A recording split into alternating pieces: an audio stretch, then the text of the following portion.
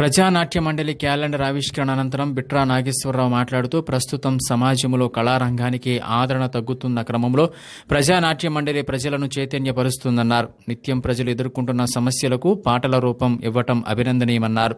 కార్యక్రమంలో పిఎన్ఎం ప్రాంతీయ కార్యదర్శి కిరణ్ నాయకులు నాగరాజు కృష్ణ చరిత సాయి ప్రసాద్ పాల్గొన్నారు. గ్రామీణ ప్రజల అక్కడి నుంచి రకరకాల రూపాలు తీసుకొని మరి ఈ పాట అనేక రూపాలను సాధించి చక్కటి సాహిత్యాన్ని మనకు అందిస్తూ ఉన్నాం. అయితే పాట అనేది దేనికి ఉపయోగపడాలా? ఆనందం కోసం కాదు. కాసేపు దాని నుండి సంతోషించి అవతలకు వెళ్ళిపోవడానికి కాదు. ప్రజల్లో ఒక చైతన్యాన్ని తీసుకురావడానికి ఉపయోగపడాలా?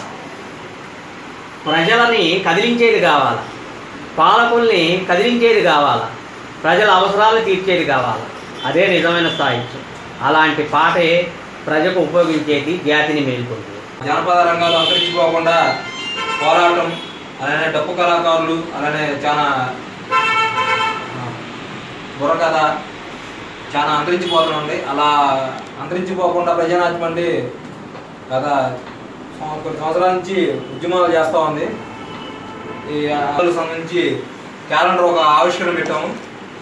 ఈ- ఈరోజు మన రచయిత నాగమహేశ్వరరావు గారి చేతి మీద క్యాలెండర్